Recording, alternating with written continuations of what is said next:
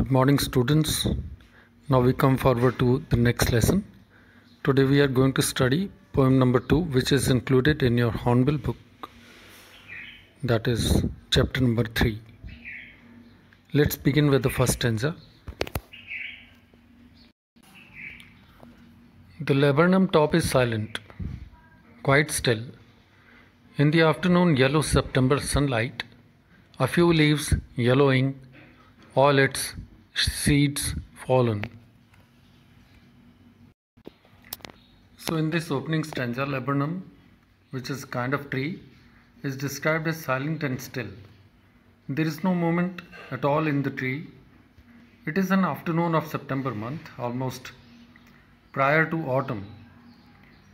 Autumn, you know, it is the season generally in India, it comes in the month of October, November, and in the southern hemisphere, it comes in the months of around February and March. So it depends on the hemisphere of Earth. So we have to discuss this autumn season of September month. So it's an afternoon of September September month, almost prior to autumn. Sunlight is yellowish and laburnum leaves are also yellowish as they are almost ready to fall. All its seeds have fallen already. It means this autumn season which we are talking about in this poem is that is uh, the Ted Hughes. He writes uh, this poem. He belongs to northern hemisphere that is England. So autumn falls in the month of September here when he is writing about it. So I come to the next stanza now.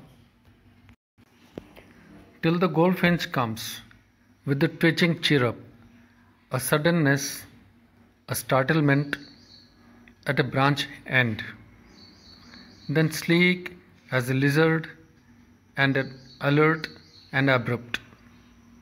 She enters the thickness and a machine starts up. Machine starts up. When the poet watches this particular uh, laburnum top very carefully, he looks at the tree and suddenly he finds that a goldfinch, a very small sparrow, sur surprises by landing on the branch, its end of the branch, which makes twitching sound. It has unique sound. While doing so, it jerks its body looking shiny like that of a lizard, goldfinch enters the thickness of branches and yellow leaves in an alert and abrupt manner. So the poet looks at the tree and he is watching the tree that it is there is no movement he finds in the tree and it is so sensitive that when the bird sits on the branch of the tree, then that particular branch starts moving. And this is the bird which you can see, you can identify.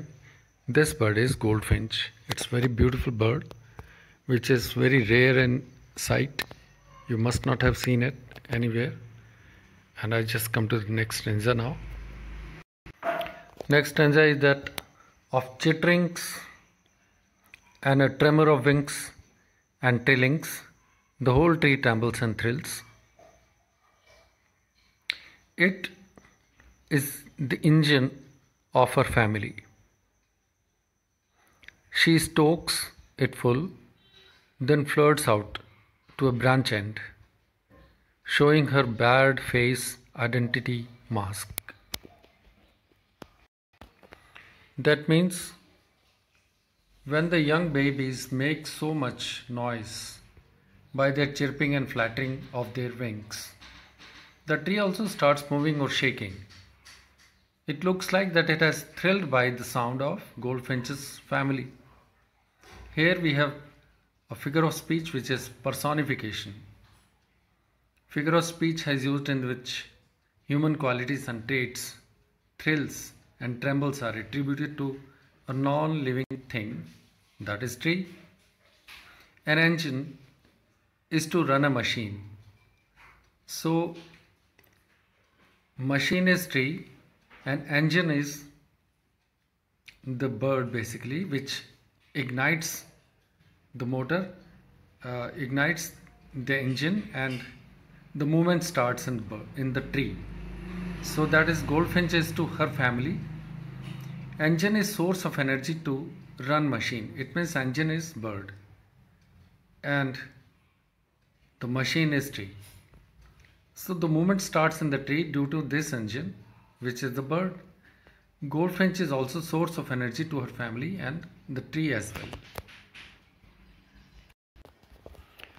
The bird brings food to her babies and feeds them out. They're full without goldfinch and her family. Tree is silent and still and seems dead. The family of goldfinch provides a uh, provides it that is life by making it tremble and providing thrill. This tree also gives shelter to goldfinch's family from predators. So two-way relationship between goldfinch's family and tree is seen here. A beautiful imagery of engine has created here. As engine is needed to run a machine, Goldfinch also served the same work by providing them energy. Also, that is, after feeding her babies, it comes out of the thickness and sits on a branch end. Now her bad face is visible, which serves its identity. It looks like a mask, which is known as its hallmark. Now we have the last stanza before us, that is then, with eerie, delicate whistle chirrup whisperings, she launches away towards the infinite, and the laburnum subsides to empty.